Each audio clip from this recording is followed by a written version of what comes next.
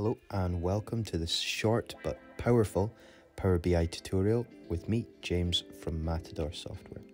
Today we're going to look at the custom visual scroller to produce something like you see in the top of my screen.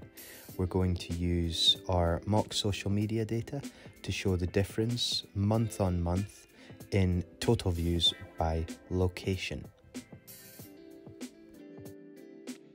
In order to get this custom visual, we can click on the ellipsis, get more visuals, and we can bring Scroller into our report. As you can see, it's Power BI certified and it's a powerful custom visual. So, predominantly, when I've seen this before, it's been used for sort of stock market data or, or cryptocurrency prices. But as usual, I want to show a slightly different use case and we're going to go ahead and build this out again to show the variance month on month between our total social media views by location. So if we look at the scroller visual field value wells, we're going to add the location into category and in the measure absolute, we're going to add this month's views. Now you can see there's already power here because we, we can display this month's views and it's important to note when we do hover our cursor over the visual, it stops. So if we wanted to view anything specific, we could do that. The field that we want to, to populate though is the measure deviation. So if we look at our data set, within this table that we can assume this is our social media views by location, we have the total views this month and we have the previous month views. We can use DAX to show the difference between the views this month and the previous views and then we can use this number as our deviation within our field values in the scroller visual and that's going to show us the variance month to month.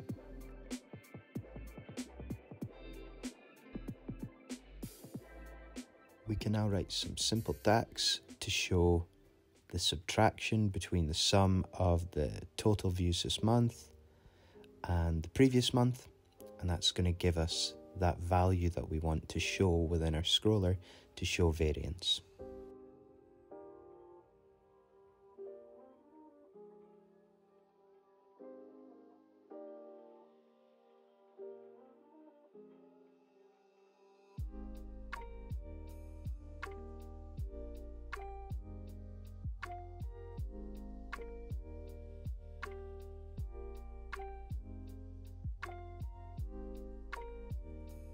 One other added bonus I can show you sometimes if we create a DAX measure um, and we click new measure within the, the GUI, the guided user interface, it populates that measure within the wrong table. Um, so what we can do is we can go into the relationships in Power BI and we can simply drag this into the area that we want to see this, this represented in. When we populate our monthly view variance DAX measure into the measure deviation field value well within their scroller visual, we now see that Power BI intelligently shows the positive values with a green upwards icon and the negative values with a red down facing icon. Now, this looks good, it shows us our variance, it's, it's a good start, but there are ways that we can customize that. And the first thing I would do is take away the title and the black background and we can make everything blend in and from there we can look at some further um, exciting formatting features that we can use that are unique to this visual.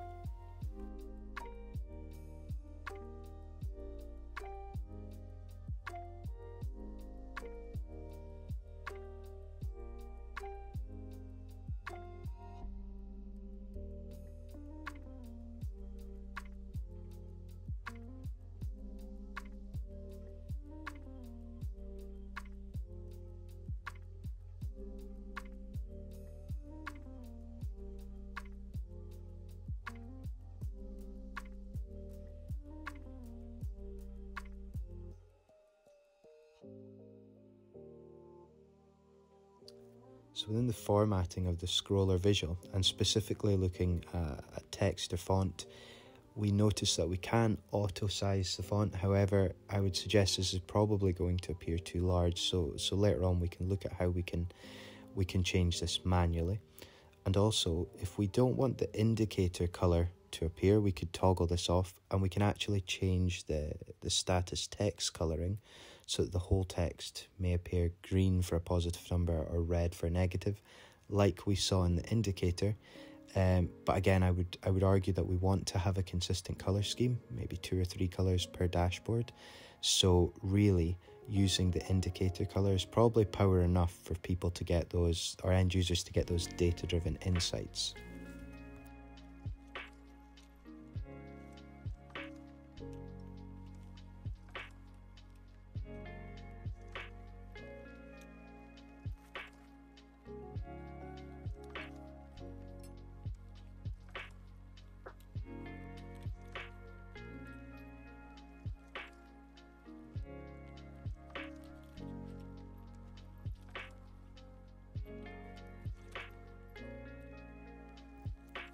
You'll also notice that we have further options, like I said, to manually adjust the font size, um, to adjust the scroll speed, so the speed at which our locations and our values will, will float across the screen. And we also have a custom text option where this will replace our actual dynamic values. This will just, you know, you could have sort of a welcome to our dashboard custom text, but it's important to note this won't concatenate with the the dynamic location values that we're looking to show. This will simply just show a custom text. Um, so there is a bit of value there, but probably in helping people get data driven insights, probably not so much. Um, but important to know it's there anyway. So we'll play around with these and you can follow along if you like.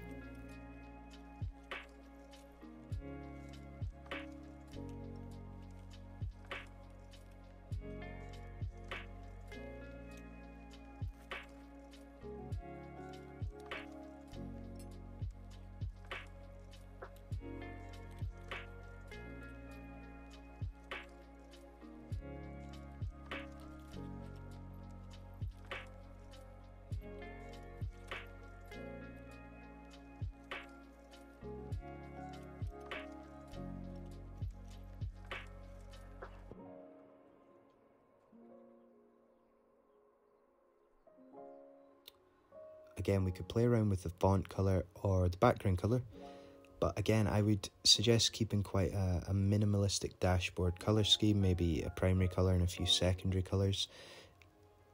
And really, that's also going to highlight the indicator color and those positive or negative values. So, it actually strengthens the report whilst keeping a sort of minimalistic scheme.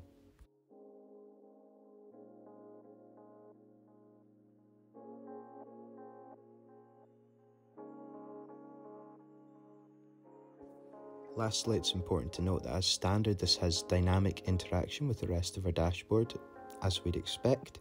So if we, for example, click locations within our map visual, we'll just see that specific location um, within our scroller, which is quite a nice feature. And yeah, important to note that it's there.